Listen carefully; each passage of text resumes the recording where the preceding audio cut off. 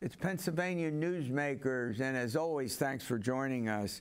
Well, it's tax season, and we're going to talk about a number of aspects about filing your taxes, especially tax debt stress. We all have that. But first, it's election time. April 23rd is the Pennsylvania primary, and there are lawsuits. As usual, elections can get contentious. We'll get to that and more following these words. Welcome to the fast paced and unrehearsed weekly discussion featuring the leaders who help shape your world. Join us as we address the issues that impact you each and every day. This is Pennsylvania Newsmakers. And now, here's your host, Terry Madonna. All right, welcome back. Well, some important topics, and we got two uh, Capitol reporters uh, joining us to talk about them. Zach Hoopes, he's with the Harrisburg Patriot News PennLive, and Angela Couloumbis with Spotlight PA. All right, Angela, let me start with you. I'll tell you, it's almost every day there's another lawsuit filed dealing with elections. It's gotten very contentious. G give us a few sentences about the important, uh, the important uh, lawsuits. Well, um, in, in short, buckle up. There's going to be a lot of lawsuits being filed in relation to the election, in particular because we are almost certainly going to see a rematch between President Biden and former President Donald Trump. And Pennsylvania, as everybody knows, is a battleground state. Right. And last uh, in the last uh, election four years ago was the decider in uh, President Biden's victory. So uh, as it stands right now, probably the most significant lawsuit is in uh, federal court, and it'll come to no surprise uh, to anybody who follows election-related issues that the issue in that lawsuit has to do with mail ballots, which ha have been attacked by uh, President, former President Trump, in particular, as uh, leading potentially to widespread fraud. Right. Obviously, they're baseless allegations, but it has Is that resonated. because the signature isn't proper or the so outer this, envelope? It's the outer envelope, right? That's correct. This lawsuit in particular has to do with undated or incorrectly dated mail ballots. Sometimes people uh, put their birth date instead of the date that they're yeah. sending the ballot. And these ballots are now, um, some counties have uh, had problems. They don't know what to do with these types of ballots. There have been, there's been lawsuits about this in the past, but this one is in federal mm. court, has the potential to go all the way up to the U.S. Supreme, Supreme court. court. Here's what's surprising to me about this. First of all, if you apply for uh, to vote by mail, that's known to county officials. When you submit the vote, that's known. So what's the relevance in the date on the outer envelope and whether that's correct or not? Well, that's an excellent question, and that's part of what um, uh, litigants who brought the, the lawsuit are arguing. Um, it's the NAACP, the Pennsylvania chapter, and other voting rights groups. They're saying, look, uh, not counting these ballots, if they have been timely received by the counties, right. yeah. violates the Civil Rights Act, um, which is, and the materiality provision in there, which says, right. you know, insignificant errors should not stand in the way right. of a person's right to vote. Yeah, good. All right. All right, um, let's continue with elections and uh, what's been referred to as a dearth, a lack of poll workers. Is that a, a big issue right now? It's uh, it's difficult to gauge. Um, I was at an event uh, maybe a month ago where the Secretary of the Commonwealth, Al Schmidt, the guy who's in charge of voting in Pennsylvania, was trying to recruit poll workers. The state does a lot of events like that um, all around the state. Um, but what the counties, from what I've seen, are saying is that they are seeing a significant turnover in poll workers. Um, it's it's hard to tell if there's a shortage per se right now, but um, there's people come, people go. They're constantly trying to get new people in. Um, and as Angela mentioned, there's a lot of intrigue surrounding elections that can make things difficult for poll workers in some cases. Um, yeah. But uh, there, but there is concern out there from uh, officials who are responsible, county officials, for conducting elections. Correct? Yeah, it's a constant battle to keep to keep poll workers um, yeah. in the ranks. Um, and it's also it's an aging workforce. Um, you know, most of the folks yeah, they have to be are, trained right. yeah, It's become a very high stress position and job Yeah, to do because uh, there's so much scrutiny anymore in how elections are conducted. Well, look, we're, we're- let's run to a break. When we come back, I want to talk about post-election lawsuits, and then we want to get into cyber attacks and where all that goes, and we'll do that uh, after these words.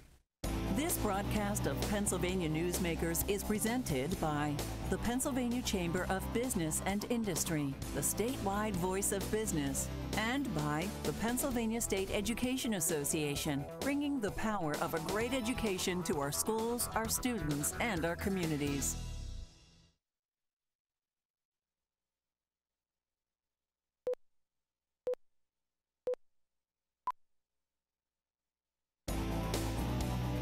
This broadcast of Pennsylvania Newsmakers is brought to you by the Pennsylvania Highway Information Association, the go to source to learn about transportation projects and issues.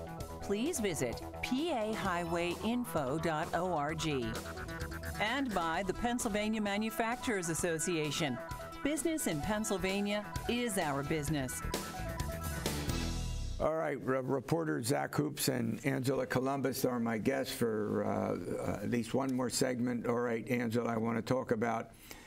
It, it seems like the post-election lawsuits just do not end. It's like elections have not just become contentious in terms of how they're conducted, the way they're conducted, but after the election, there's more contention. Right. So uh, lawyers, election lawyers, legal scholars, um, election officials, they are bracing for an onslaught post-election. Uh, those lawsuits generally will target things like how counties um, uh, counted ballots and or the processes or any potential problems that came up on election day at the polls. Um, and that's all well and fine, except that there are very set deadlines in Pennsylvania for things like uh, certifying the results of the election. December 11th is a big date. People should remember that is the date that the governor has to send to Congress uh, the list of electors uh, for each presidential candidate. Right, we're in a and the winner. presidential election year. We got to have electors. That's PA. correct. Um, and you know there there is so much confusion at this point in time. What would happen if the lawsuits drag out and that December 11th deadline is missed and Pennsylvania is unable to send its results to Congress? Uh, that is still being And worked we're out. one of the most competitive states in the country. Absolutely, we are a battleground state. Like I said earlier, we decide Pennsylvania decided the election in 2020, so it is um, going to be very closely watched. Yeah. You, you agree? Oh, yeah, definitely. Um, and I, through um, budget hearings that I've been keeping track of recently, one of the big issues is that there are some ambiguities in Pennsylvania's election law, particularly in Act 77, um, that are kind of provide the avenues for some of these lawsuits that come after the voting results. And it's one of those things that is constantly being talked about by lawmakers, Right. particularly during Department of State hearings, things like that. But the chance of there actually being a bipartisan agreement to clean up some of these issues is probably very, very slim. Um, You're, Terry, the legislature could fix this. It can pass legislation containing items that counties have not just asked for, they've begged for for, for Yeah. almost four years now. But will they? Uh, It doesn't appear uh, that that is going to be the case, as Zach said, because uh, there are um, there are Republicans in particular who want to also uh, include things like voter ID. Uh, in the equation, and that does not have broad support. Yeah. Some of the fixes to Act 77 do. Okay. All right, let's turn on to cyber attack. Yeah, there was. What is it? Well, um, at the end of February, Change Healthcare, which is um, a national medical um, billing and claims system that is uh, owned by United Health, uh, was the subject of a, a massive ransomware attack. Um, and we've been seeing some national headlines about that. Unclear how big it's going to be. A lot of places are saying that it's, Now, it's what's really that going to have mean a when you huge say impact. a ransomware attack? Um, my understanding is that the hacking group stole um, information, locked files, and demanded um, money to um, So to get the, get the information personal back. information about people, and then they get money from them. Is that what you're? Uh, from the from change from the corporate entity they're trying Oh, to get money from. Now I've also seen reports that um, that a ransom may have been paid, but that's not entirely clear at this time. Um, the issue for Pennsylvania or for state government um, is that a number of the healthcare providers that provide services to Medicaid patients um, are also impacted, and this makes it very difficult for them to send claims to the State Right. Department of Human Services um, or to the managed care organizations that do Medicaid managed care. Um, this came out during a budget hearing this week that Right. the, the DHS said they were very concerned about how Big long deal. going to go. Ab- Yes, because the concern is that uh, patients will not be able to receive services if uh, providers can't bill uh, for money to, to cover those services. So the potential for real harm is there. Some of these places where may just simply flat out run out of money if they can't bill Yeah, for the Medicaid point. services they're providing. Uh, many places, particularly nursing homes, just don't have that much cash on hand. All right. Well, I want to thank you for coming on. Okay, we're going to turn to uh, can you ease your tax debt stress? It's tax season, and we all get a little stress, and we'll talk about that and more after these words. This broadcast of Pennsylvania Newsmakers is brought to you by CrossState Credit Union Association. Credit unions, where people are worth more than money. To find a credit union that is right for you, go to ibelong.org. And by the Energy Association of Pennsylvania, Pennsylvania's energy information source.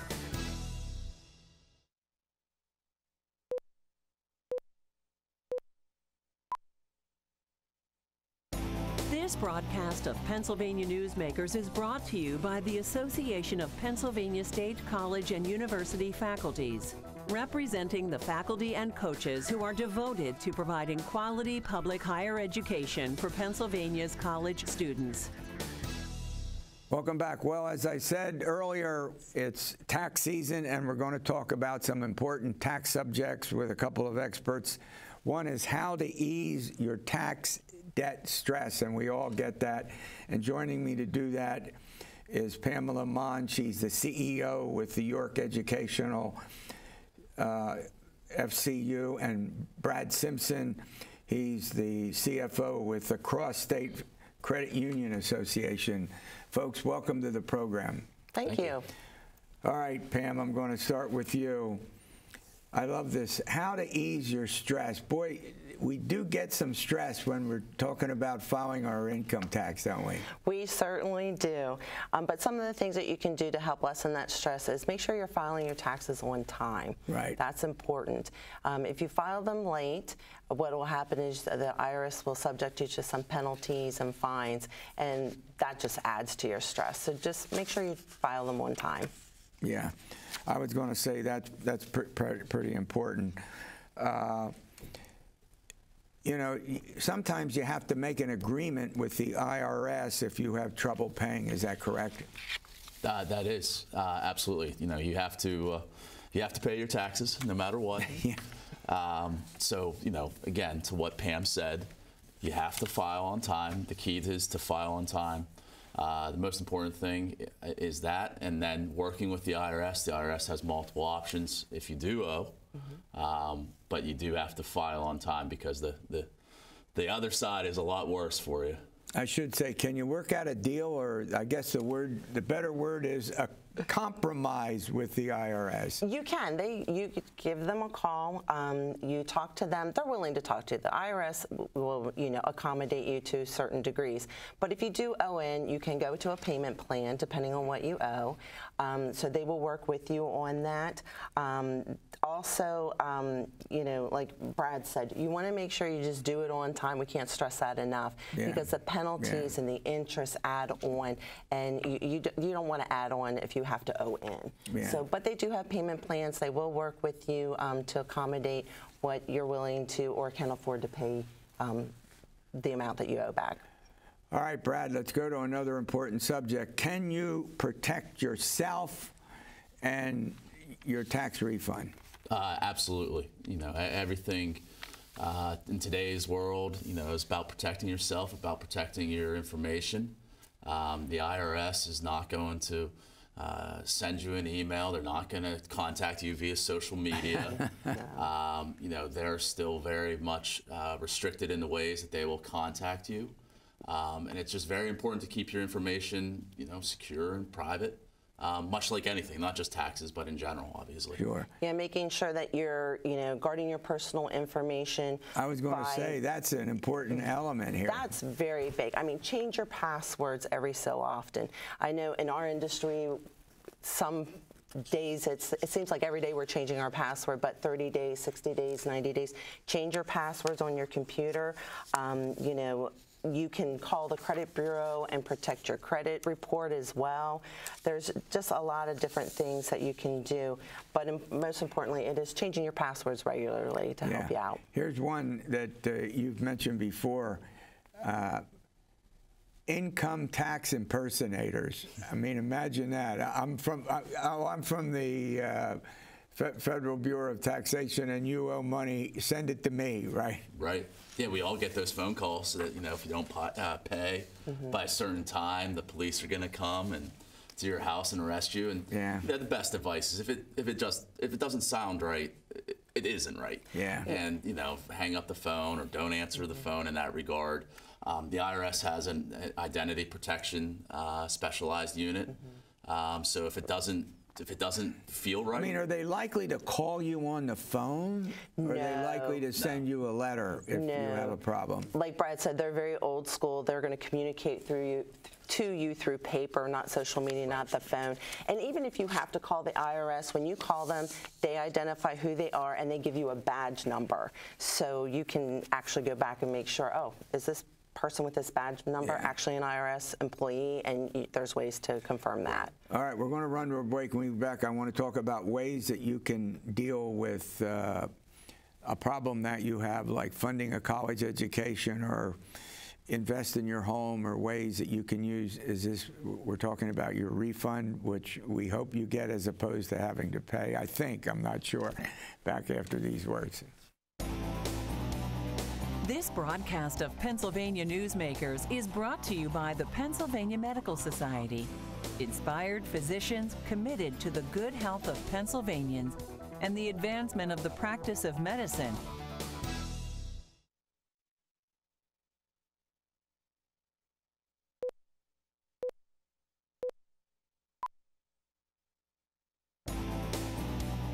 Broadcast of Pennsylvania Newsmakers is brought to you by Pennsylvania American Water. We keep life flowing across the Keystone State. All right, it's tax season. We're talking about a number of aspects of uh, tax filing and what to do with your refund. In fact, that's the next question. Best ways to spend your tax return. Take it, Brad. Uh, savings and, and debt relief are always going to be your best options. You know, if you do get that return, uh, you know, paying down debts that you do have, adding That's a an good additional point. payment uh, to credit cards, student loans, that sort of debt, that's going to go the furthest. Uh, and then just any type of savings, and there's many, many different ways uh, that you can add to savings uh, for you.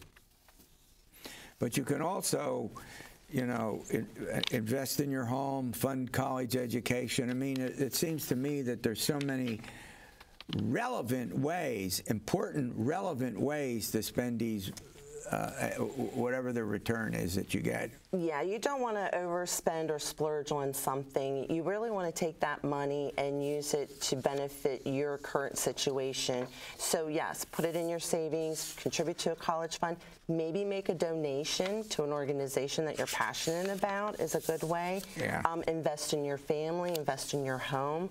Those are all great things. And depending on how much you get back on your tax return, maybe take three of those things and contribute to that. Yeah. Maybe not just the whole thing in one bucket, but maybe separate it out into three buckets to help your situation. And there are things we sh- you should avoid with a tax refund, correct? Oh, absolutely. You know, any, anything that's going to uh, add further stress down the road uh, should be avoided. I mean, the average return, I think, through February was $3,200, dollars and the you know, the, the splurge purchase, you know, that I'm going to go get a new car because now I have $3,000 in my account. Now you're going to have a higher car payment. You're going to have that for an extended amount of time. You know, those are the things that you want to avoid. And and f- and they're victims, as we talked about before. But I want to get into greater detail. It's called identity theft. How mm. common is that? every day. Every day, somebody's identity is being taken away from them.